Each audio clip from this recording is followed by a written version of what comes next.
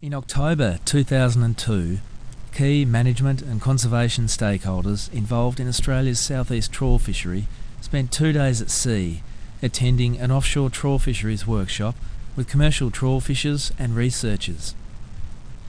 The workshop, considered as a first of its kind, was conducted on the Australian Maritime College's 35 metre fisheries training vessel, the Bluefin, and run out of the New South Wales fishing port of Eden. SeaNet, a National Environmental Fisheries Extension Program, and the Southeast Trawl Fishing Industry Association, known as SETFIA, were responsible for organising and facilitating this fisheries education and extension workshop. Generous workshop support was offered by Ocean Watch Australia, the commercial seafood industry's environmental watchdog, and the Australian Maritime College and the Fisheries Research and Development Corporation, known as FRDC. Each year, the southeast trawl fishery catches over 30,000 tonnes of fish valued at nearly $70 million. The fishery supplies the Sydney and Melbourne markets with the bulk of their fresh fish. Vessels have been active in this fishery since the early 1900s, and at present there are around 80 vessels using demersal trawl nets to target a range of fish species, including blue grenadier, orange roughy, redfish, pink ling, and flathead. Trawling effort in the fishery occurs on the shelf and upper slope waters around Australia's southeast coast, Eden on the south coast of New South Wales, Lakes Entrance in eastern Victoria, Hobart on Tasmania's south coast, and Portland in Victoria's far west are all major ports in the southeast trawl fishery. The Australian Fisheries Management Authority, known as AFMA, is the Commonwealth agency responsible for the fisheries management and regulation. Currently, this is achieved by a combination of individual transferable quotas, limited entry, area restrictions, and gear restrictions, including a minimum mesh size of 90 millimetres. SeaNet and SETFIA worked collaboratively to develop the workshop's information transfer concept, aiming to give government and non government stakeholders the opportunity to build on their understanding of the industry. Holding an education workshop on board a trawler proved to be an ideal method of demonstrating recent advances in trawl fishing technology, including research progress to reduce catches of small and unwanted fish, known as bycatch. Commercial skippers from the fishery, a research expert, fisheries scientist Dr Ian Knuckey, and the Victorian SeaNet officer were all on board the Bluefin for the workshop, facilitating the transfer of information, answering stakeholders' questions, and sharing their knowledge of the commercial trawl fishing industry and its operations. The workshop had two main objectives. The first was to provide participants with a better understanding of industry operations through a first hand view of trawling practices, fishing gear technology, and some of the ecological interactions that can occur during fishing. The second objective was to help with the extension of recent gear development research aimed at reducing bycatch in the fishery. The workshop offered stakeholders the chance to see this technology in practice on a trawler, a rare and invaluable opportunity for all participants. The Bluefin departed Eden's Twofold Bay early morning, with a diverse group of 14 Southeast Trawl stakeholders gathered on board, accompanied by industry skippers, researchers, and the Bluefin's crew. Three skippers from the Southeast Trawl were present and provided valuable local advice and expertise during trawl demonstrations. SETFIA's explanation of trawlers, trawl fishing gear, and commercial fishing practices were also vital to the workshop's success. The agenda for the overnight workshop included practical trawl demonstrations showcasing modified trawl gear developed during an FRDC funded project to reduce bycatch of both small and unwanted fish in the southeast trawl.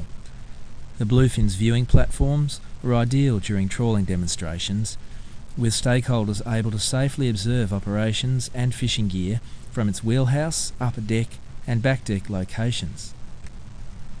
During each trawl shot, industry skippers and researchers provided information to stakeholders on gear components and the setting and hauling process, while answering questions relating to trawling operations and modified nets. Throughout the workshop, the Bluefin used a custom designed trawl net with twin cod ends or catch bags rigged for the demonstrations. This double-ended trouser trawl enabled comparisons of catch selectivity to be made between the different cod end mesh types that are now available to southeast trawl skippers. The comparisons highlighted the catching efficiency of each mesh type. After sorting the catch on the Bluefin's deck, workshop participants were able to make a visual comparison of the reduced levels of bycatch and the impact on catches of commercial species. In this instance, the catch from a 90mm diamond mesh cod end is being compared with a catch from a 100mm square mesh cod end. Throughout these comparisons, the onboard researchers and skippers who were initially involved in developing this gear detailed the potential benefits and some of the difficulties associated with industry vessels adopting modified cod ends best suited to their operations. The trouser trawl demonstrated selectivity for some of the different sized diamond mesh and square mesh options now being used on industry trawlers. Importantly, it was highlighted to workshop stakeholders that a variation in mesh type also impacts on the catch of some commercial species. Research in this area is to continue in 2003, aiming to identify the most appropriate gear types while reducing bycatch in each area of the fishery.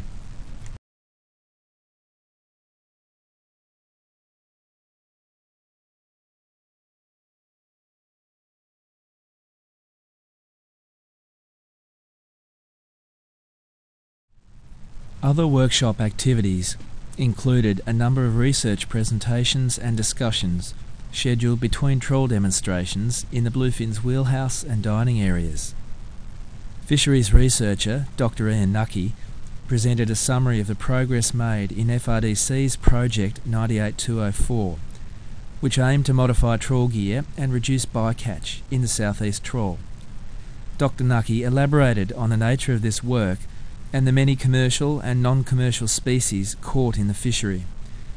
Research progress was discussed with reference to the modified cod end trawl demonstrations provided throughout the workshop. Again, the industry skippers made a valuable contribution during these discussions by bringing their real-life experiences to the forum and explaining scenarios faced when using this gear in commercial operations. Discussions about the interactions of fur seals with commercial vessels in the fishery were also held during the workshop. The importance of minimising seal interactions was raised after the capture of two seals during the workshop and highlighted as a key issue by SETFIA's representatives and a number of stakeholders on board. SETFIA President Terry Moran explained to stakeholders about SETFIA's Code of Practice that is used by industry vessels to assist in minimising the incidental bycatch of seals. Dr Knuckey then put the issue into perspective, providing workshop participants with scientific advice on seal interactions recorded through the Trawl Fisheries Integrated Scientific Monitoring Program. Avoiding seals is a priority for both fishers and stakeholders in the southeast trawl, and this important issue is now being managed by the National Seal Strategy Group and coordinated by the Bureau of Rural Sciences. SeaNet has received in-depth positive feedback from stakeholders who ventured to sea on the bluefin. This feedback has highlighted how the workshop played an important role in contributing to the knowledge of stakeholders involved in the management of the fishery. Examining, handling and sorting the catch fresh from the cod end was an excellent opportunity for stakeholders not familiar with the working deck of a trawler. A number of participants also took part in some basic fisheries research activities, including removing and collecting otoliths for fish ageing and determining sex and measuring fish, all standard biological procedures that help us to understand our commercial fisheries. This hands-on approach provided an ideal opportunity for all involved to interact while learning more about operating procedures gear types and catches across the industry. First-hand experiences promote a genuine interest among stakeholders, and with expert advice close at hand, there were plenty of questions raised and answered.